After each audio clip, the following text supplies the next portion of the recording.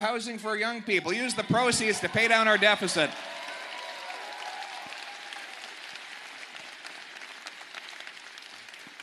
And it just warms my heart, Candice, to think of that beautiful family pulling up in their U Haul to move into their wonderful new home in the former headquarters of the CBC.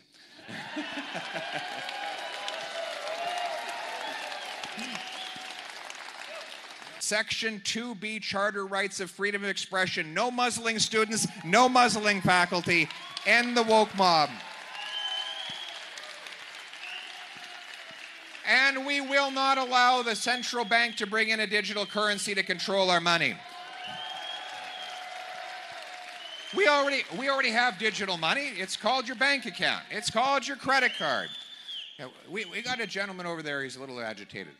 Hey, listen, listen. I'll be happy to chat with you afterwards. I'll be happy to chat with you afterwards. We'll have a chat. We'll have a conversation afterwards. Go easy on him. He's okay. Well, I'll, have a chat with this gentleman afterwards. It's all right. You know what?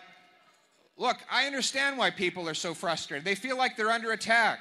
They've been under attack by their government in Ottawa for too long. So they're frustrated and divided and looking for a chance to speak out. And I want that young man to understand that I hear his voice. I feel the pain that he's been suffering. He's a legitimate person and he deserves the respect of our leaders. Minister means servant. I will be his servant as well.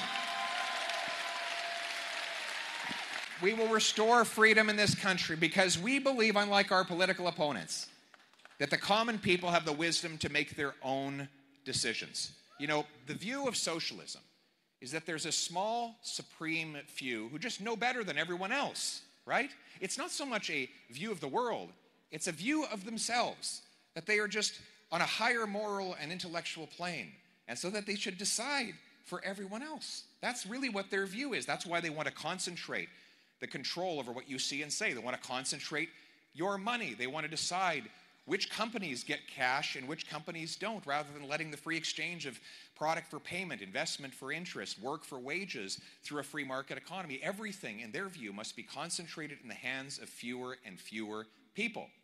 Now, this is based on the assumption that man is incapable of governing himself, but somehow capable of governing others. So, what is their view of human nature anyway? If man is so flawed that he can't make his own decisions, how can he decide for others? Well, the answer they would give is that there are just some people made of better clay, and it turns out it's them, right? They know better than everybody else. Now they look down as they fly over rural communities like this one and think that the people who are doing the work on the ground don't know anything. They say that those are the ordinary people.